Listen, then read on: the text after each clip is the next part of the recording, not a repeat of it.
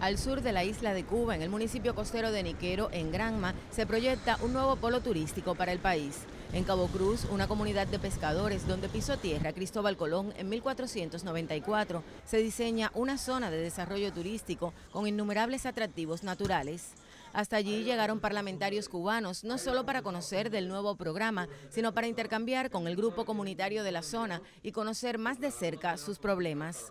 Los diputados a la Asamblea Nacional del Poder Popular dedicaron tres jornadas de trabajo al vínculo con los electores, aportaron a la producción de alimentos y visitaron sitios históricos como la Portada de la Libertad, que este 2 de diciembre conmemorará el aniversario 64 de la llegada de los expedicionarios del Yate Granma, liderados por Fidel Castro en el Parque de los Mártires en Niquero, que rinde honores a los combatientes rebeldes que perdieron la vida en los primeros días luego del desembarco. Los parlamentarios colocaron una ofrenda floral. Ha sido una iniciativa muy importante por parte de las autoridades, tanto del partido como del gobierno en el territorio, hacer este recorrido por parte de los diputados. Hemos estado en, en lugares históricos de nuestra provincia, hemos compartido con el pueblo, Hemos estado también en la producción de alimentos, sembrando yuca aquí en el territorio de, Niquero.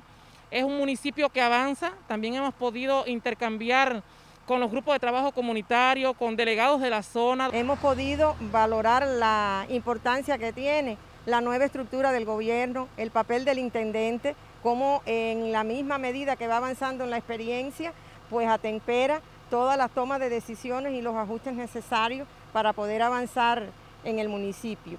Sobre todas las cosas, apegado a la, a la estrategia económico-social y en las diferentes áreas de resultado eh, clave que se están trabajando en nuestro país. La experiencia responde a las estrategias gubernamentales de la provincia y el país de que los representantes del pueblo en el Parlamento cubano participen junto a la población en los principales proyectos de desarrollo de la nación.